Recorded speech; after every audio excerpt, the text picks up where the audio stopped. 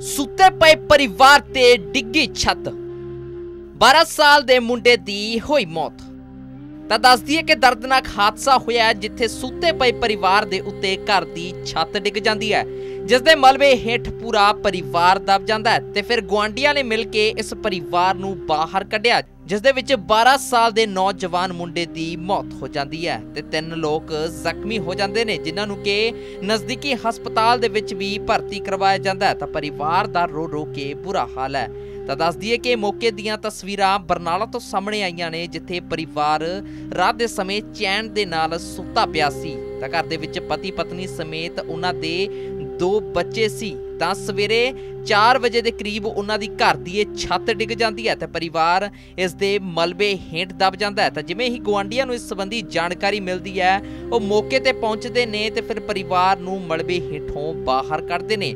ਪਰ ਇਸ ਦੇ ਵਿੱਚ ਉਹਨਾਂ ਦੇ ਮੁੰਡੇ ਪ੍ਰਿੰਸ ਦੀ ਮੌਤ ਹੋ ਗਈ ਸੀ, ਜਦਕਿ ਪਤੀ ਪਤਨੀ ਸਮੇਤ ਉਹਨਾਂ ਦੀ ਬੱਚੀ ਗੰਭੀਰ ਜ਼ਖਮੀ ਹੋ ਜਾਂਦੇ ਨੇ, ਜਿਨ੍ਹਾਂ ਨੂੰ ਕਿ ਨਜ਼ਦੀਕੀ ਹਸਪਤਾਲ ਦੇ ਵਿੱਚ ਭਰਤੀ ਕਰਵਾਇਆ ਜਾਂਦਾ ਤਾਂ ਹੁਣ ਪਰਿਵਾਰ ਦੇ ਵੱਲੋਂ ਮਦਦ ਦੀ ਗੁਹਾਰ ਲਗਾਈ ਜਾ ਰਹੀ ਹੈ। ਤਾਂ ਇਹ ਮੌਕੇ ਦੀਆਂ ਤਸਵੀਰਾਂ ਇਸ ਪਰਿਵਾਰ ਦੇ ਘਰ ਤੋਂ ਸਾਹਮਣੇ ਆਈਆਂ ਨੇ, ਜਿੱਥੇ ਕਿ ਉਹਨਾਂ ਦਾ ਰੋ ਰੋ ਕੇ ਬੁਰਾ ਹਾਲ ਹੈ। ਇਹ ਮੈਂ ਕ੍ਰਿਸ਼ਨ ਸਿੰਘ, ਮੇਰਾ ਨਾਮ ਹੈ ਜੀ। ਆਵਾ ਬਸਤੀ ਬਰਨਾਲਾ ਦੀ ਘਰ ਜੀ ਇਹ। ਮੇਰਾ ਪਰਿਵਾਰ ਆ ਜੀ, ਚਾਰ ਬੱਚੇ ਨੇਗੇ। ਇਹ ਵੱਡਾ ਬੱਚਾ ਵਿਆਹਿਆ ਹੋਇਆ ਸੀਗਾ ਜੀ। ਦੋ ਪੋਤਾ, ਇੱਕ ਪੋਤਾ, ਇੱਕ ਪੋਤੀ ਆ। ਇਧਰ ਨਾਲ ਵਾਲੇ ਕਮਰੇ 'ਚ ਪਏ ਸੀਗੇ ਜੀ। ਤਾਂ ਸਵੇਰੇ 4 ਵਜੇ ਸਾਨੂੰ ਤਾਂ ਪਤਾ ਲੱਗਿਆ ਲੱਗਿਆਗਾ ਜੀ। ਤੇ ਉਹ ਛੱਤ ਗਿਰ ਗਈ। ਤਾਂ ਆਂਡੀਆਂ ਗਵਾਂਡੀਆਂ ਨੇ ਰੌਲਾ ਪਾ ਕੇ ਸਾਰਾ ਕੁਝ ਅਸੀਂ ਇਹਨਾਂ ਨੂੰ ਕੱਢਿਆਗਾ ਛੋਟੇ ਬੱਚੇ ਦੀ, ਮੇਰੇ ਪੋਤੇ ਦੀ ਡੈਥ ਹੋ ਗਈ ਜੀ। ਤੇ ਬਾਕੀ ਦਾਖਲ ਪਏ ਨੇ ਐਮਰਜੈਂਸੀ ਦੇ ਵਿੱਚ। ਤੇ ਬਹੁਤ ਬਹੁਤ ਬੜੀ ਪਰੇਸ਼ਾਨੀ ਗੁਜ਼ਰ ਰਿਹਾ ਜੀ ਪਰਿਵਾਰ ਇਹ। ਤਾਂ ਕੀ ਕਰਿਆ ਜਾਵੇ ਜੀ, ਪ੍ਰਸ਼ਾਸਨ ਤੋਂ ਮੰਗ ਕਰਦੇ ਹਾਂ ਵੀ ਇਹ ਗਰੀਬਾਂ ਦੀ ਪਰਿਵਾਰ ਦੀ ਸੁਣਵਾਈ ਕੀਤੀ ਜਾਵੇ ਜੀ। ਸਾਡੇ ਕੋਲੇ ਹੋਰ ਕੋਈ ਸਾਧਨ ਨਹੀਂ 5-7000 ਰੁਪਇਆ ਕਮਾਉਣ ਵਾਲੇ ਬੰਦੇ ਆ ਜੀ ਅਸੀਂ। ਅਸੀਂ ਗਰੀਬ ਪਰਿਵਾਰ ਆ ਸਾਰੇ ਜੀ। ਹਾਂ ਜੀ, ਹਾਂ, ਉਹ ਤੁਸੀਂ ਵੀਡੀਓ 'ਚ ਦੇਖ ਸਕਦੇ ਹੋ ਜੀ, ਉਹ ਕੀ ਹਾਲਾਤ ਨੇ ਉਹਨਾਂ ਦੇ ਕਮਰਿਆਂ ਦੇ। ਉਹ ਤੁਸੀਂ ਆਪ ਖੁਦ ਦੇਖ ਸਕਦੇ ਹੋ ਜੀ। ਮੇਰਾ ਨਾਮ ਹਰਜਿੰਦਰ ਸਿੰਘ ਹੈ ਜੀ। ਸਵੇਰੇ 4 ਵਜੇ ਦਾ ਇਹ ਟਾਈਮ ਹੈ ਜੀ। ਅੱਜ ਸਵੇਰੇ 4 ਵਜੇ ਗਵਾਂਡੀਆਂ ਨੇ ਸਾਨੂੰ ਜਾ ਕੇ ਠਾਇਆ ਗਿਆ ਜੀ, ਵੀ ਉਹਨਾਂ ਦੇ ਘਰ ਦੀ ਛੱਤ ਡਿੱਗ ਚੁੱਕੀ ਹੈ ਜੀ। ਅਸੀਂ 4 ਵਜੇ ਆ ਕੇ ਉਹਨਾਂ ਨੂੰ ਪੂਰੇ ਪਰਿਵਾਰ ਨੂੰ ਕੱਢਿਆ ਜੀ, ਚਾਰ ਮੈਂਬਰ ਸੀਗੇ ਜੀ ਉਹ।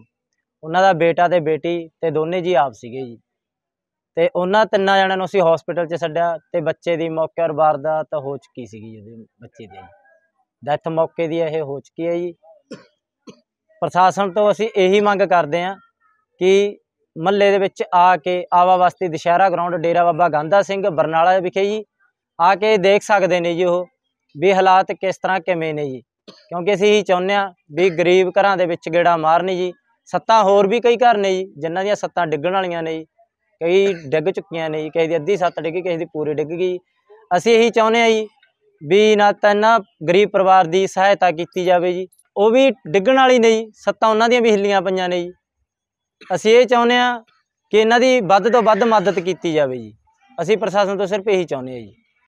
ਮੈਂ ਜੀ ਵਾਰਡ ਨੰਬਰ 5 ਦਾ ਐਮਸੀ ਤੇਜਿੰਦਰ ਸਿੰਘ ਸੋਨੀ ਜਾਗਲ ਇਹ ਮੇਰਾ ਵਾਰਡ ਪੈਂਦਾ ਹੈਗਾ। ਇਹ ਤਕਰੀਬਨ ਜੀ ਇੱਥੇ 4:00 ਵਜੇ ਦੀ ਇਹ ਕਹਾਣੀ ਹੈਗੀ।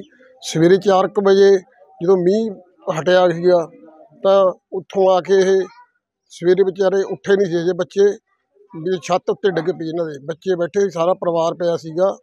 ਇੱਕ ਬੱਚੇ ਦੀ ਡੈਥ ਹੋ ਗਈ 13 14 ਸਾਲ ਦਾ ਬੱਚਾ ਸੀਗਾ, ਬਾਕੀ ਇੱਕ ਦੋ ਜ਼ਖਮੀ ਹੋ ਜੋ ਕਿ ਹਸਪਤਾਲ ਜਿਹਦੇ ਜੀਰੇ ਇਲਾਜ ਨੇ। ਜੀ ਅਸੀਂ ਪ੍ਰਸ਼ਾਸਨ ਦੇ ਮੰਗ ਚਾਹੁੰਦੇ ਹਾਂ, ਬਹੁਤ ਹੀ ਗਰੀਬ ਪਰਿਵਾਰ ਆ, ਅੱਤ ਦਰਜੇ ਦਾ ਗਰੀਬ ਪਰਿਵਾਰ ਆ, ਇਹਨਾਂ ਦੀ ਕੋਈ ਮਾਲੀ ਸਹਾਇਤਾ ਦਿੱਤੀ ਜਾਵੇ ਇਹਨਾਂ ਨੂੰ।